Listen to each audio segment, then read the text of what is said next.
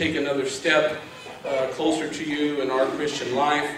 Lord, we thank you for the many blessings that are because of you.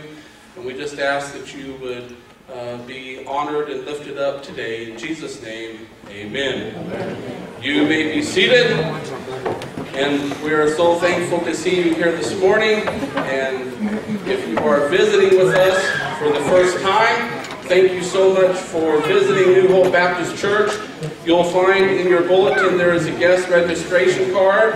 And if you wouldn't mind filling that out, if you have not done that before, and we could have a record of your visit, you can tear that off and put that in the offering plate in just a few minutes. Uh, you will notice in your bulletin that uh, we have a special guest with us this morning. Brother Tony will be introducing him to you in just a few moments. Uh, but I want to tell you about a couple of things. One is if you have been collecting box tops for New Hope Christian Academy, uh, please bring those and you can put those at the collection spot on the back table or, or give them to Miss Angela. And then also, if you're a lady that is interested in going to Women of Faith, uh, please see Miss Kristen or Miss Pat about that. But they just recently got in uh, the applications and they have about 12 applications available.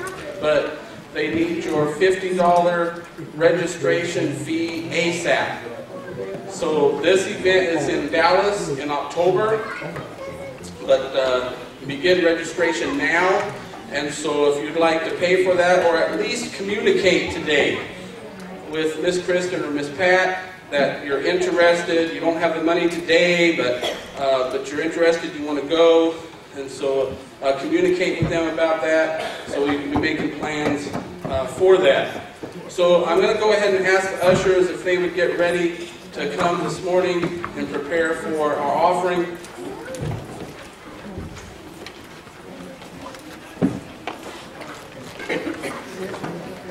Yes.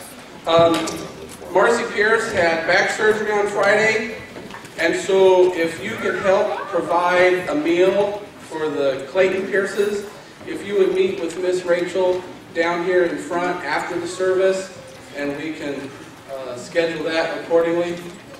Who has the keys?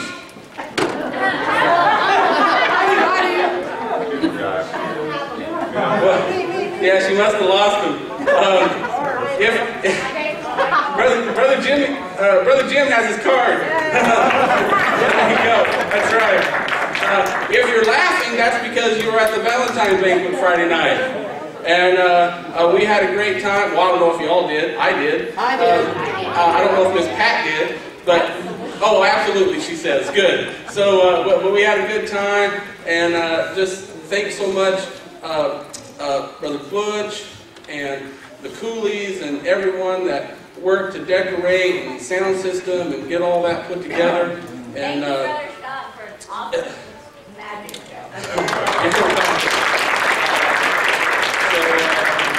it was it was wonderful, and we had plenty of room and uh, it was it was just a, a, success. You know how it is when you plan something, and you're always worried that maybe nobody's going to show up. Uh, but I mean, we had uh, at, I don't know what the count was. I know it was at least 105. So that was a high for us, and we had room to do it all together. We didn't have to split it up, and so uh, just praise the Lord for a good time there. So um, as you're writing out your check this morning. I'm going to go ahead and dismiss Children's Church. Children's Church, you may be dismissed to the back corner room to my left. Amen. Praise the Lord for all the kiddos. All right, Brother Turner, would you ask the blessing on our offering, please? Lord, we thank you for the opportunity to be here this morning. We thank you for the good time that we can have as Christians. And uh, Lord, we just pray that you would help us to remember that, that we can have a good time serving you and uh, living our lives for you that others can see. Uh, Thank you for this time that we have to give back a portion of what you've given to us. Take it and use it to your honor and glory now in Jesus' name. Amen. Amen.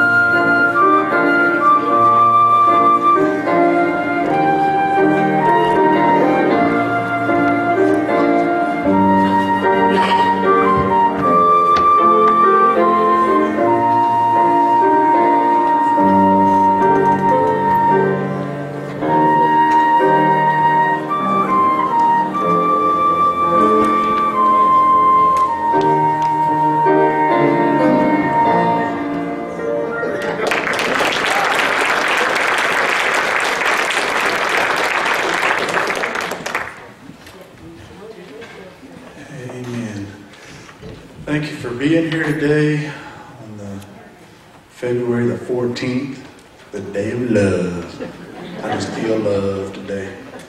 Um, it is uh, wonderful being in God's house, and I know it's a, uh, a uh, holiday weekend, and so I, I do appreciate the the faithfulness of God's people, and I appreciate um, just the things that are going on around New Hope, and just ask you to continue to pray. There's so much going on, and people growing, and things happening, and so important that we continue to be engaged in the Christian life. And this morning, I also appreciate that I get to sit next to my sweetie during the church service. I don't get to do that very often. And a couple years ago, my dad, uh, maybe last year or year before that, my dad called and said, "Hey, I have this had this guy at my church, and you really need to have him at your church." Which is not something I ordinarily do right away when my dad says that, because my dad is kind of like the ShamWow guy. Um, it really doesn't matter what he does; it's the best thing that's ever happened. And so you got to really kind of. Me- that's true, isn't it? I mean, it's like you got to measure it out. The fact of the matter is, um, um, one of my I, I love that there's a there's a Christian song called "The Old Man Is Dead" that I really like. And my dad had this uh, this guy at his church that he met at the Highway to Rescue Mission, and the, and the, and he had this poetry and stuff that he said he, he wrote and all this stuff and. And that's you got to have this guy come to your church. He writes his poetry and all this original music and stuff. Well, come find out, it's not original at all. He just finds it and then goes around. And, and uh, he said, oh, because he went to Dad's church and said, I wrote this song and the Lord gave me this song. And, and Dad was like, wait a minute. So anyway, he just plagiarizing everybody.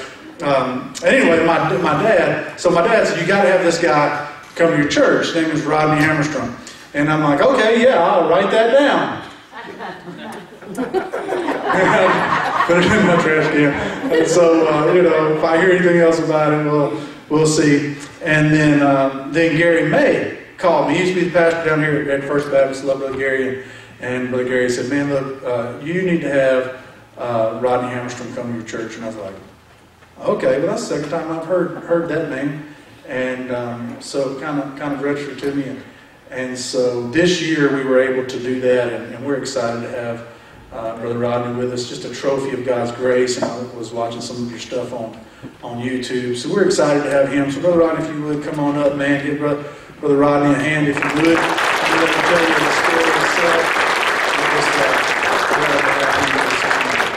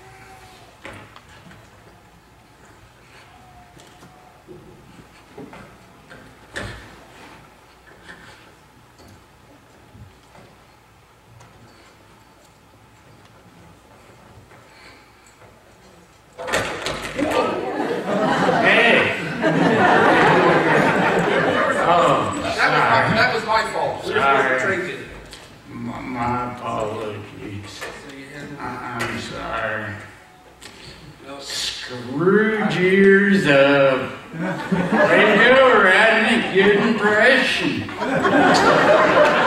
Awesome. It's a great day. Welcome to a day in the life of Rodney Harris. So, wow, how we all doing this morning? Awesome, awesome. Wonderful to hear. Who here is happy to be here in the house of the Lord? Praise Him.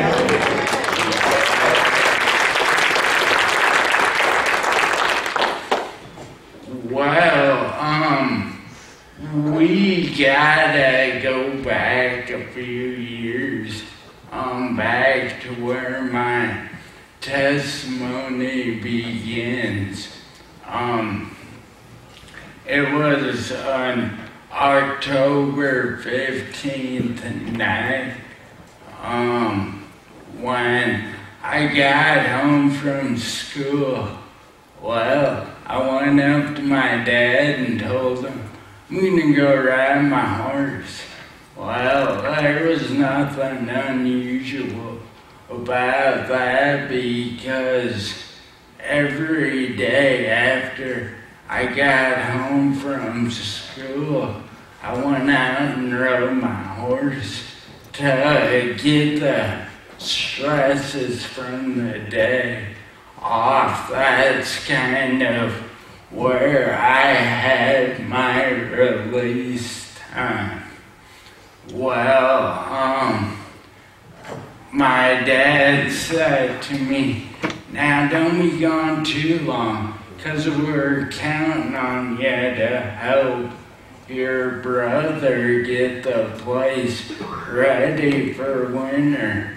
Well, back up two, two weeks prior to this, my dad, he was over roping at our arena. Well, he went and got bucked up into the saddle horn and shattered his pelvis. So he was already on the sidelines the way it was. Um, well, I went out and grabbed my coat. Well, I said, I'll see you in about 15 minutes. Cause I had to go check some fence um, around our field where we go and kick out on for the winter and let the horses go and clean up the field of the grass that um, was unable to be unveiled for that year.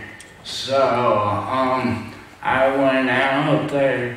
I was gone for my 15 minutes. Well, all of a sudden, my dad went and looked at his watch. He says, Rodney should be back by now. Oh man, he's not, so we better go out and check on him. Well, up north, um, it gets dark, um, about 6.30, 6.15 up there. Well, they came out looking for me at 6 o'clock. So it was getting dark, I heard dusk had set in. So, um, they went and came out to the field where I said I was gonna be at. Well, surprise, surprise. They couldn't find me. I was missing in action. Well, um, the, my dad pulled down in the field. Well, he went and started backing up. Oh, he stopped just to take one more look over the field um, to maybe see where he missed me at. Well, this time he saw the colt laying over across the fence where that colt should never been at. But being the horseman he is, he's like, we better go investigate. Well, they came down in the field. Well, they went. My brother got out because my dad was injured and on the sidelines.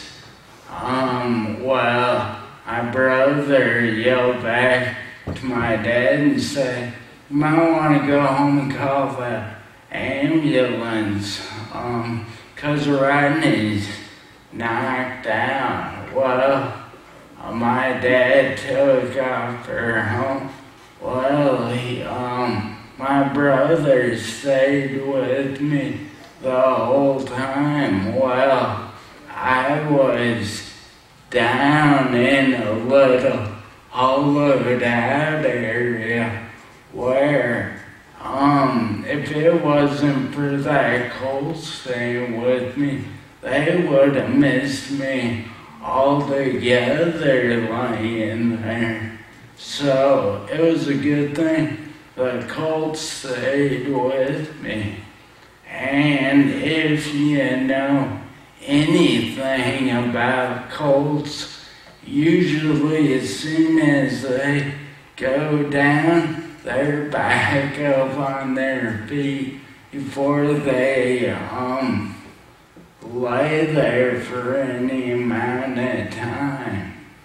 Well, um, so that was the first sign of God being there. He laid his hand down on him and said, Wait here, help is coming. Just stay here. So, um, the ambulance got there. Well, they lifted me over the fence, and put me in the ambulance where I went code blue for the first time. I didn't think there was enough excitement, so I thought, heck, might as well have a little more. So I went code blue. Um, well, they apparently got me back going. Um, well, being I was knocked down, they had to fly down the helicopter um, to take me up to the hospital. Well, they flew me my mom up to the hospital where they took me off of the helicopter and went and put me right in ICU where immediately they started running some tests to figure out what I was suffering from because they didn't know what um, had happened. Well, by the test coming back, the report was I was suffering from what they call a TBI or a traumatic brain injury. Um, so now they knew how to fight what I was dealing with. So um, I won't go blue three more times while I was on the ICU floor. Well, I spent 34 days in a coma on that floor where um the, my where eventually I got moved up to the rehab floor where um my dad finally came to me. Been there every second that I had been there. Um, but he said, enough with this futon. I need to go home and get in a real bed. So he said, I'm out of here. I'm like, oh, great. Well, um, the nurses and doctors had told my parents that every head injury goes through some sort of a depression. Well, he came up that morning and all the nurses stopped him along the way to my room and said, um, depression has started. Um, well, him being the optimist he is, he came in the room and said, well, how's it going, bud? Well, of course, I didn't respond because I wasn't in any mood to entertain his excitement. well, he looked at me and said, What seems to be the matter, bud? Well, I said, I just can't do this anymore. He said, What can't you do? I said, All the things that used to come so easy and natural, um, like when I was in high school, I was an active kid. And now I'm here in this hospital bed. And whenever I do anything, it's always a struggle to do just the basic things of life. And I don't think it's worth it because I don't see where the payoff will be at. Well, there's one thing you've got to understand. My dad is what you call a ponder.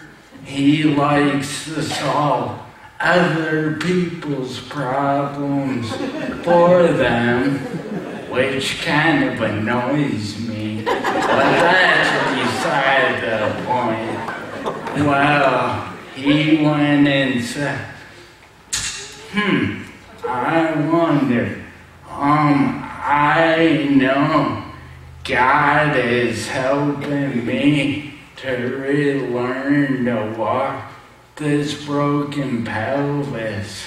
Um, why wouldn't he help a guy like you to relearn to walk?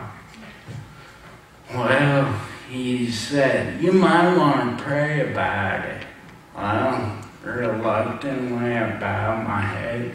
Well, I prayed for what my dad said is the longest 15 minutes of his life. Well, I picked my head up and said, Dad, you better get to therapy. And we've never had a bad day since. Um,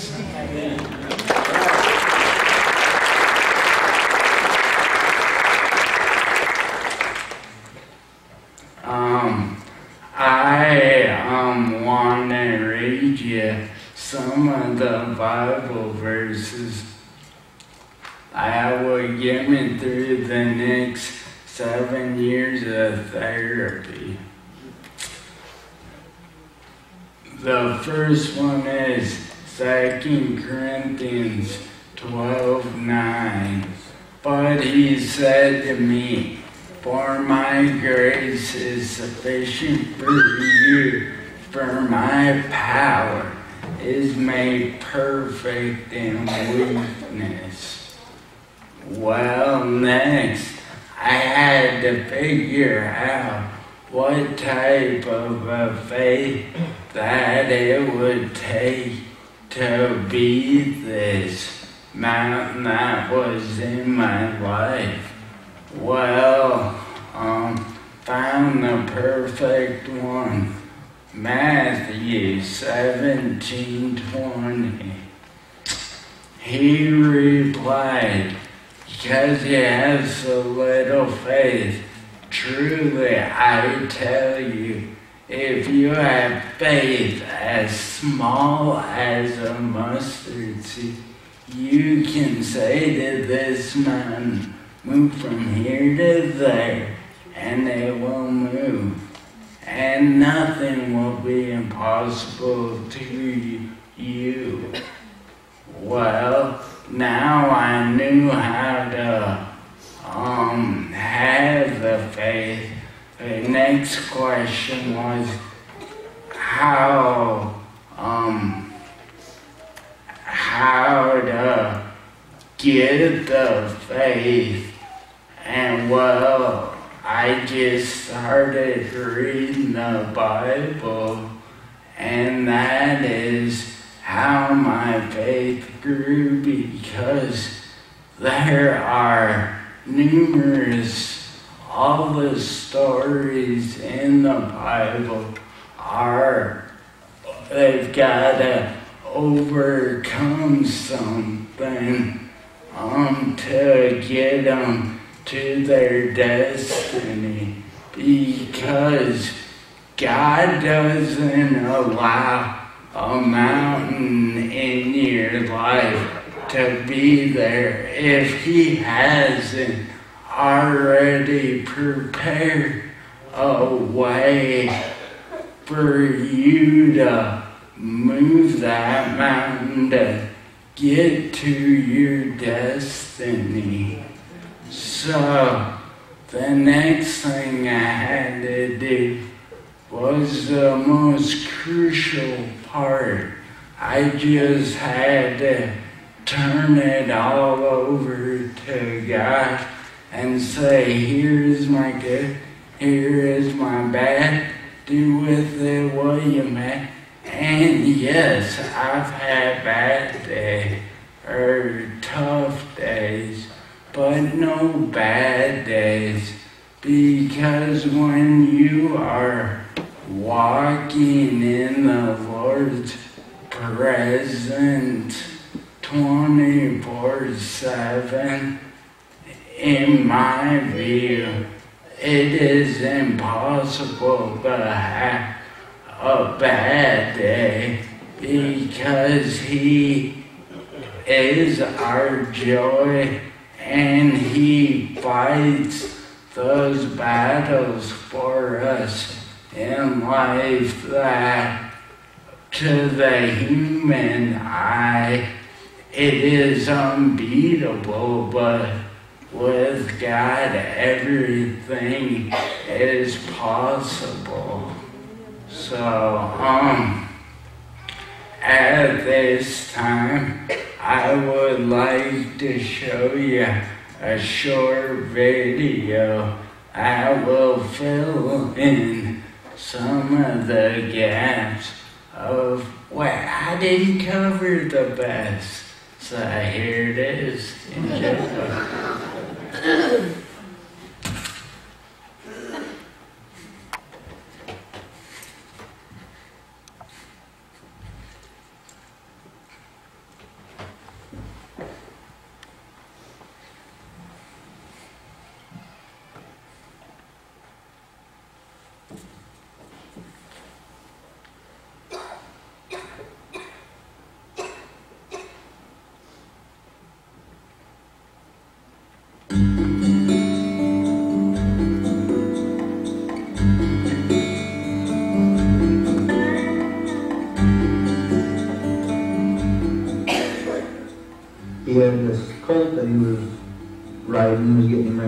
calf roping, and he went out to the hay pasture to take and check fence so we could turn our bunch the other horses out, and he didn't come home and stuff when I thought he should be home, and so we gave him a little more time because it wasn't unusual, because that's his love, is to ride. And next thing, my oldest boy was over here, and we went and started looking for him, and we didn't get a, couldn't find him right away. And we were just turning around, and I spotted the colt laying uh, flat on the ground. And then we spotted Rod because his clothes blended right in with the ground. So thank goodness the colt stayed with him, and we wouldn't have found him when we did because of the fact of uh, his clothes blended right in. And when we got there, he was breathing and knocked out. We thought at the time was knocked out. Well, it looked like he should open his eyes and talk to you at any moment. He had um, nothing that made it look like he was hurt um, any worse because, and it ended up he had no broken bones. He didn't have any internal injuries. Um, he had uh, a little scrape on his finger, but he was riding and had a hooded sweatshirt on, so he had the hood up over his head and that protected him with his fall so that he didn't even have any scrapes on his face.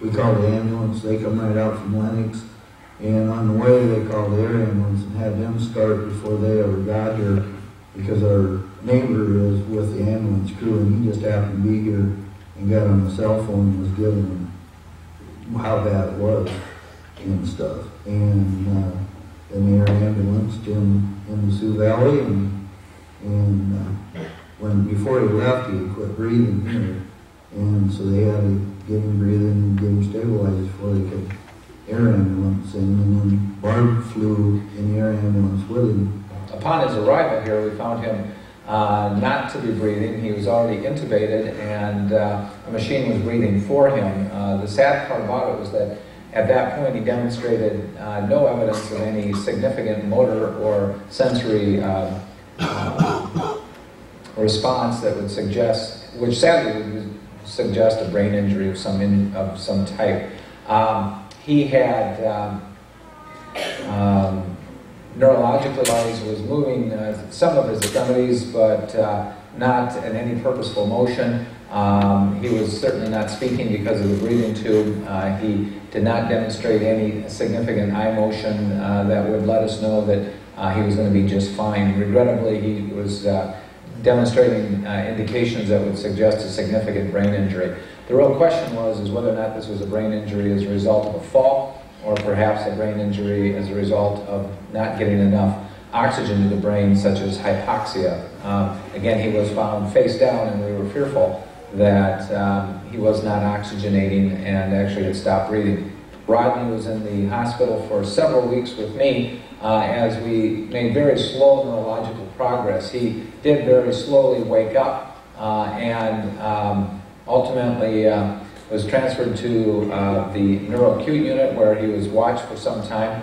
At that point, uh, we had done about as much as we could do medically within the hospital, and uh, we felt that his greatest chance of improvement certainly would be with rehabilitation.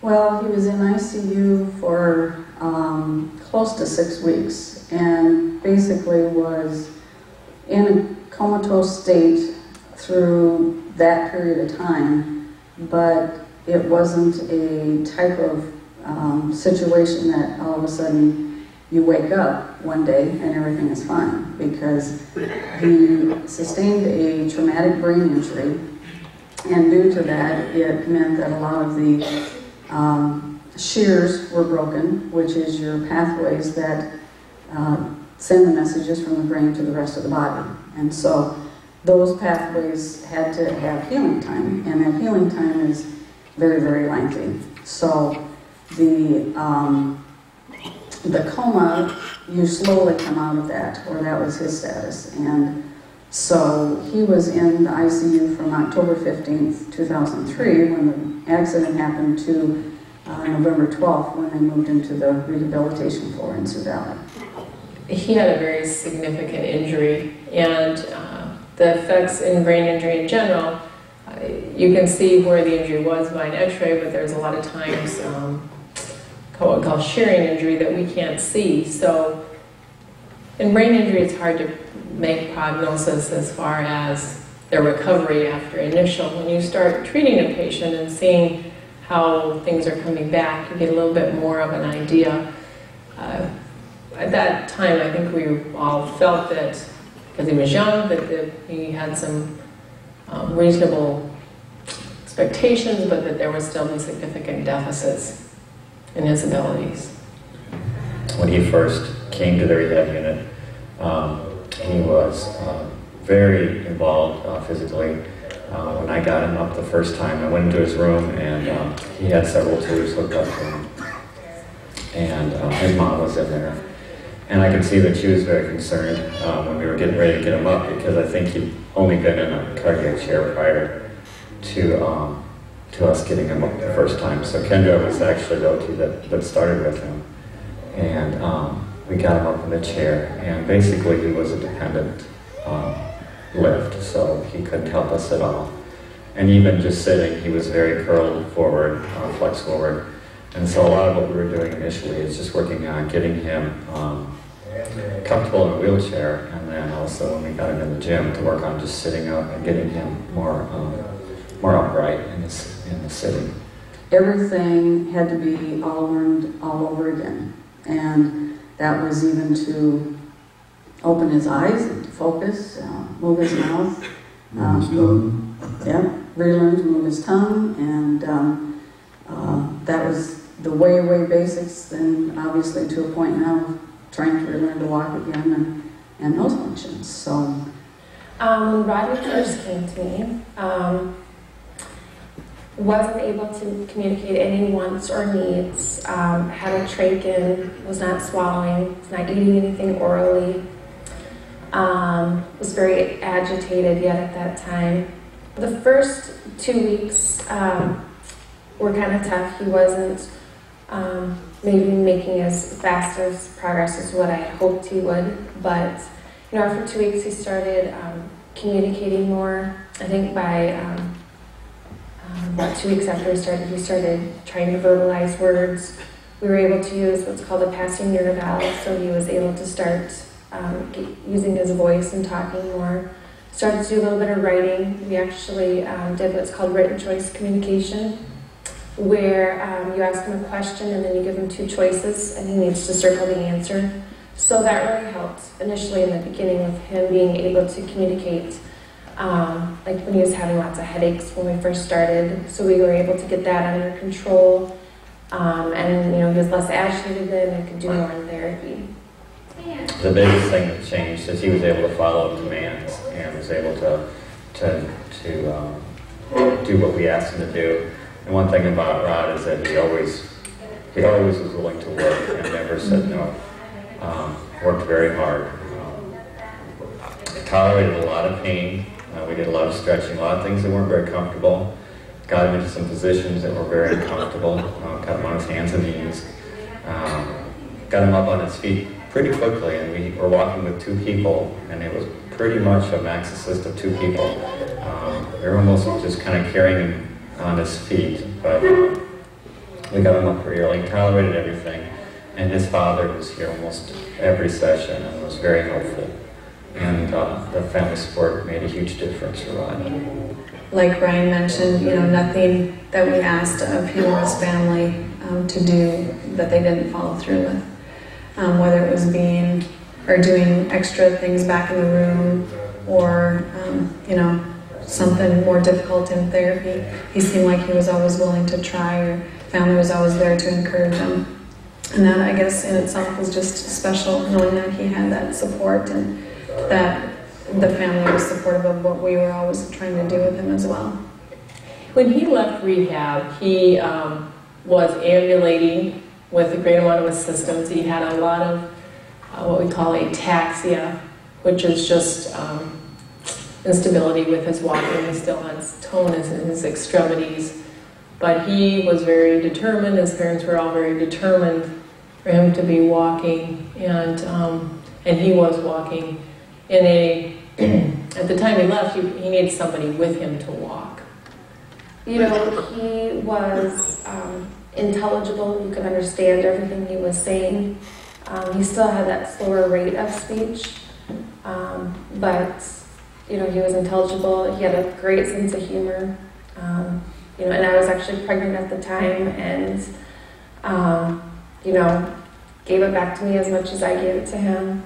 But his personality came through pretty quickly, and um, even before he was talking very clear- clearly, he started kind of mocking me when we were walking out. He was always giving him instructions about standing up tall, keeping his head up, taking big steps, and he started repeating those things, kind of kidding me, you know, and um, and that stands out. He had a sense of humor even though um, things were hard. Um, he always maintained a kind of a sense of humor, and he was good at kidding us and good at kidding me and making fun of the things, the way I did things and said things. So, um, and, and that was just help. I mean, we had a good rapport, rapport, I think. And, And I guess the one thing that stands out with me is um, I started treating Rodney after I had come back from a maternity leave. So as Brian had said earlier, Kendra um, initially started with him, and I'm a little more laid back as far as um, personality goes. And um, one of Rodney's comments to me was that I need to get more bubbly. And so um, that was kind of something that we teased back and forth with for a while. I always checked with him to make sure after our sessions if I was bubbly enough for him. Um, but yeah, he did have a good sense of humor and does have a good sense of humor. Even when he comes up to visit us, he's always um, joking with us or goofing around. So What really stood out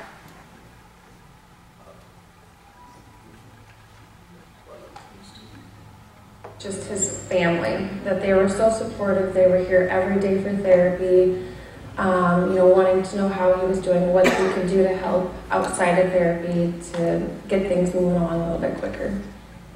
It's- been a, a good experience with their family. It's a sad situation, right? But um, to see people with so much faith and so much um, determination, that, that, that truly, and all the studies show that um, although there's material or physical, um, material or physical abnormalities or physical problems, that um, determination has a big part of it, and family support is hugely uh, important. When you work with somebody like Rod, I think you get a lot more from him than, than he gets from you. And I think um, that's one thing that I got more from Rod, and I'm sure I gave him, is um, just the strength of his character is pretty incredible. How was that knowing that you'd be able to ride a horse? Awesome. I couldn't believe that I could do what I love to do again. Seeing get back north of the street. we went over there, well, he was only home for a week. I mean, and I was, what do you want to do? I need to get a horse. my first reaction to him was, "Are you wearing a helmet?" And he just kind of shrugged his shoulders and rolled his eyes. Um, I guess to kind of go along with that is he was driving a little four wheeler too out at the farm, and you know that was kind of even a shocker to me. Um, nice to see that he's able to get back into um, some of the things that he was able to enjoy. Very honestly, at the time I saw him, uh, my concern was that uh, uh, we perhaps might someday get him talking, speaking, and eating again. And my thoughts of him ever making it back to a point of riding, even riding a horse, uh, were certainly going to be of some question. We discussed the fact of if we could finish schooling, he was in his senior year, and we worked with a school who worked with us very well, and we had a tutor that came out and helped us that was exceptional.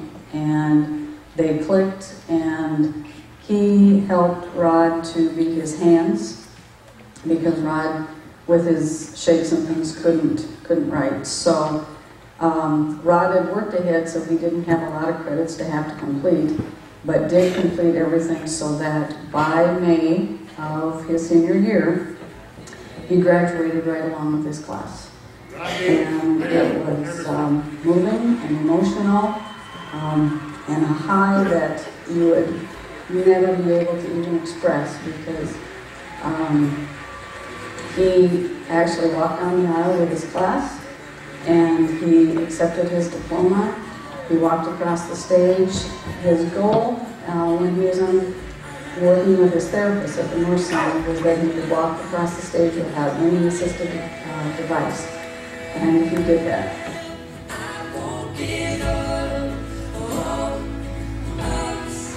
It was a remarkable thing, and his whole the community and all was very supportive. Everybody stood up when he walked in, and he walked down. He walked down with the, the group, and he walked across the stage by himself, precariously, but he did it. And um, and it was it was a neat thing to see him do that and see what he's accomplished.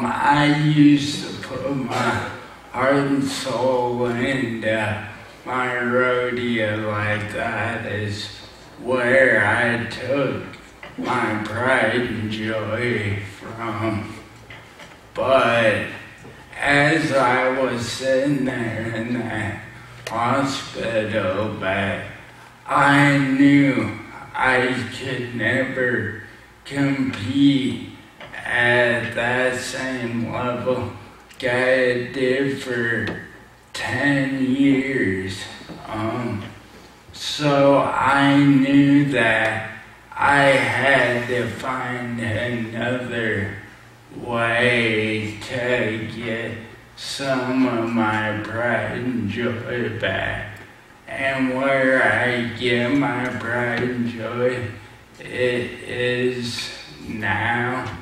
Um, from going out and sharing the gospel with people, from where God took me, walking across that stage to bring me here.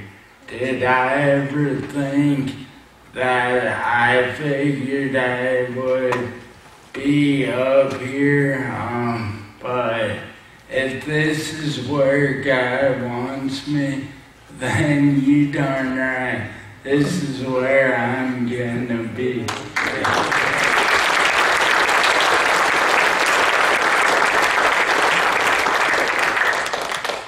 So I went from winning buckles every weekend to now winning souls for Jesus Christ.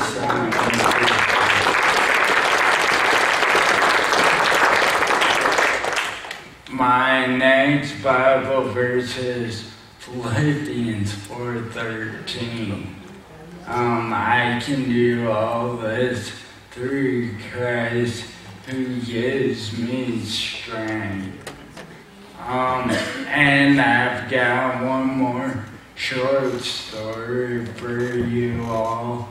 Um, this was at the wind down time of my ICU stay.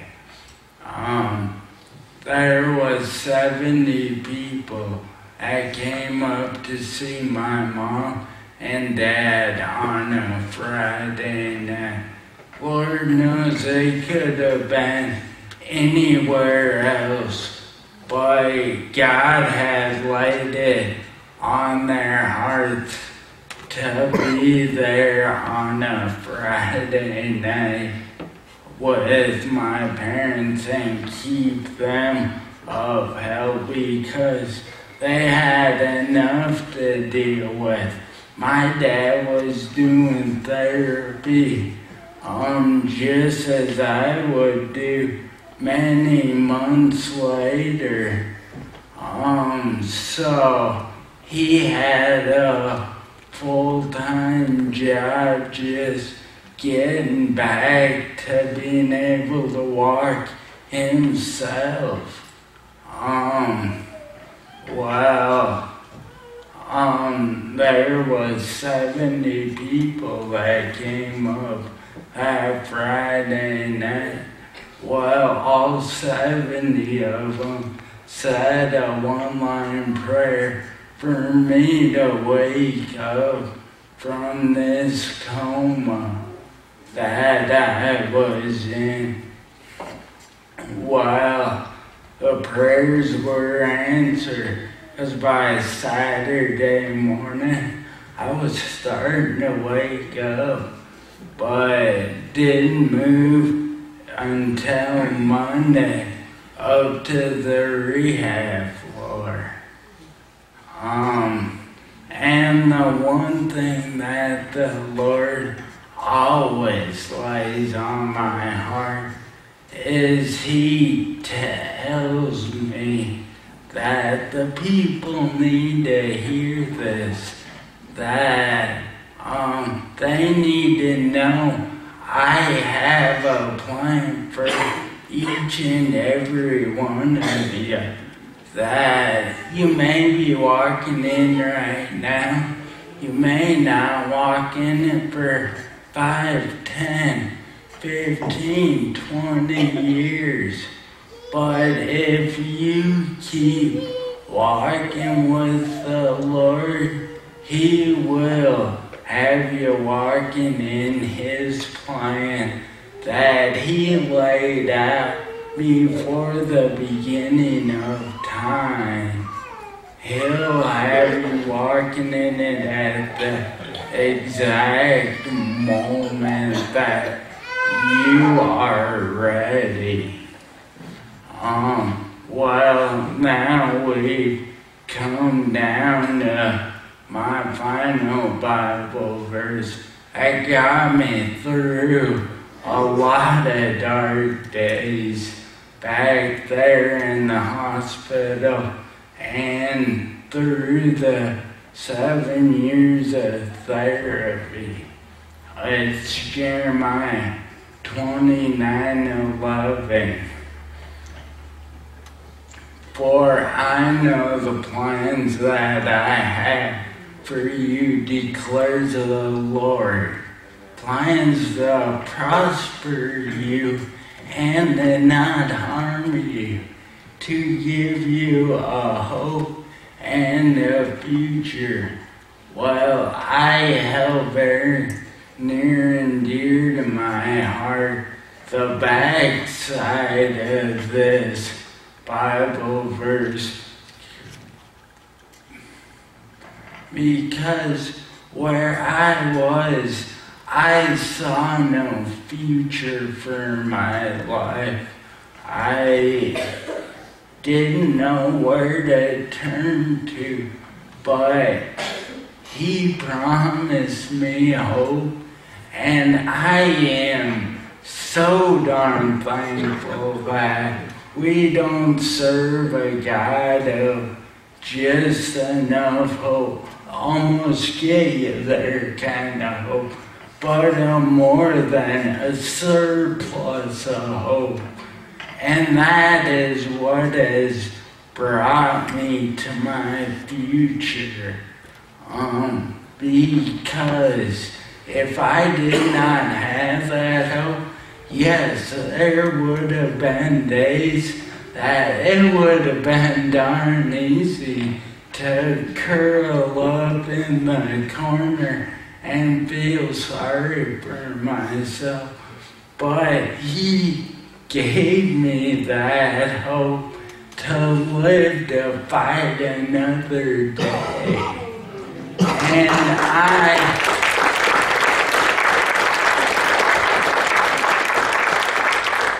And I am so darn thankful to the Lord for that. Um, well, at this time, I would like to call Tony up to close this service out, but I want to extend out to you. If you just want to come by and say something, um, I'll be up front here. And next, um, when you come up, I would like to hand you a little card on that.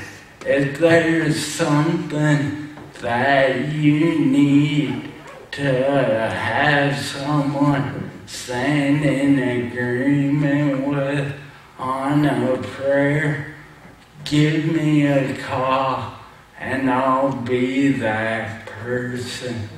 So thank you guys from the bottom of my heart. Um, so here, you take it over, Tony.